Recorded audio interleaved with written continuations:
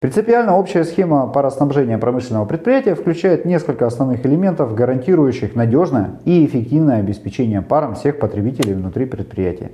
В такой системе, ну, примерно в 95% случаев, обязательно существует следующее. Первое. Крупный источник водоснабжения, откуда поступает вода в котельную предприятия.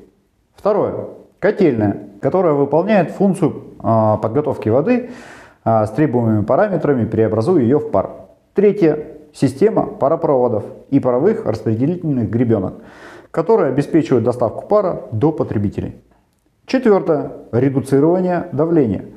После прохождения котельной пар проходит через узел редуцирования давления или используется редукционный клапан, который позволяет снизить давление до необходимого уровня для передачи пара внутри предприятия. Пятое это потребители пара. Каждый потребитель может иметь отличающиеся требования по качеству пара, и поэтому важно обеспечить доставку пара с нужными параметрами. К слову, транспортировка пара при повышенном давлении экономически обоснована. Большое давление, меньше удельный объем. Ну и шестое. Что это возврат конденсата? Идеальной ситуации – является возврат конденсата обратно в котельную, что позволяет эффективно использовать тепловую энергию и минимизировать потери.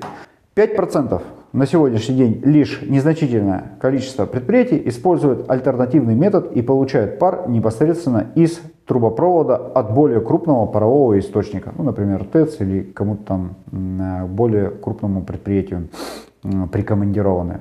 В большинстве случаев используется вода, которая подвергается обработке в котельной и превращается в пар. Напомним, что важным элементом в системе пароснабжения является трубопроводная сеть, через которую пар доставляется от котельной к потребителям. При проектировании сети учитываются гидравлические параметры, принципы теплопередачи, падение давления и другие технические аспекты. Также необходимо предусмотреть возможность регулировки подачи пара каждому из потребителей с целью оптимизации расхода, ресурсов и сохранения рабочего состояния используемого технологического оборудования. Для обеспечения безопасности системы пароснабжения на предприятиях используются различные меры, включая систему диспетчерского контроля и аварийной защиты. Насчет диспетчерского контроля обращайтесь в нашу компанию. То есть система автоматизации это как раз новинки, которые мы развиваем Кроме того, при проектировании схемы пароснабжения промышленного предприятия принимается во внимание экономическая эффективность. Оптимальное использование ресурсов и энергии позволяет снизить затраты на производство и повысить конкурентоспособность предприятия. Поэтому важным этапом является анализ и оптимизация схемы пароснабжения с учетом энергетической эффективности и стоимости эксплуатации. Ну, например, мы считали как-то, что небольшое предприятие, если поставить пароконденсатные системы, то может экономить до миллиона рублей в месяц на, на том, что возвращает как бы, конденсат обратно в котельную.